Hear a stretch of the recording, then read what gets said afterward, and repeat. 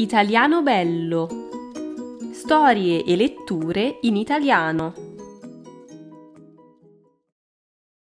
Gatto per un giorno.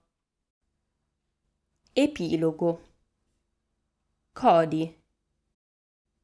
Padroncina ed io stavamo cercando Kira quando abbiamo sentito abbaiare in lontananza. Ho riconosciuto subito la voce di Kira L'abbiamo trovata su un grande sasso in mezzo al fiume insieme ad un gatto che non si muoveva. Era bagnata fradicia ed era di nuovo lei, la Kira che conoscevo. Siamo corsi al fiume e li abbiamo aiutati a uscire. Il gatto, per fortuna, non era morto, ma era svenuto. Li abbiamo portati subito dal veterinario.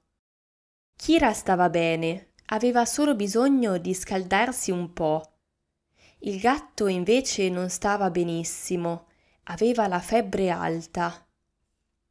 La padrona del gatto è arrivata di corsa e non smetteva di ringraziare Kira e padroncina per aver salvato il suo Romeo.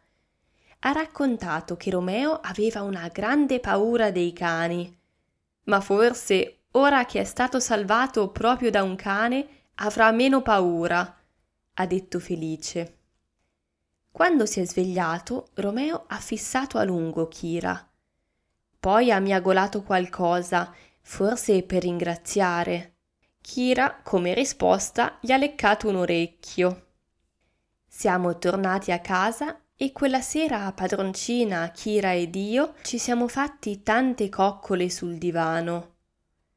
Kira era felice e molto stanca e si è addormentata quasi subito tra le braccia di padroncina.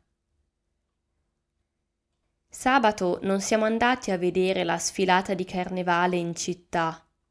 Padroncina ha preferito trascorrere una giornata tranquilla insieme a noi.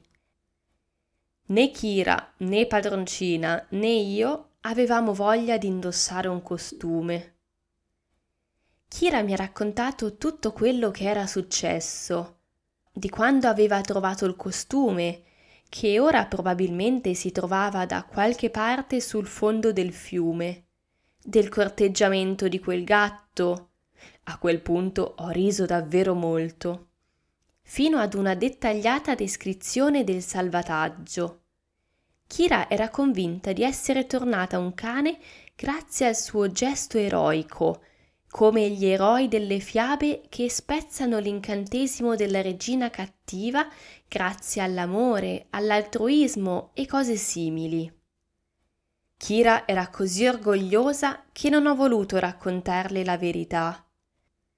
Ma che importanza aveva? Per me lei era una vera eroina.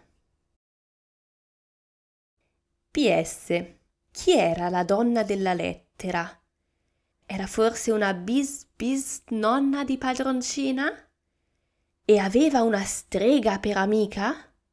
E perché mai aveva voluto avere quel costume? Forse lei amava così tanto i gatti che qualche volta voleva vivere come loro.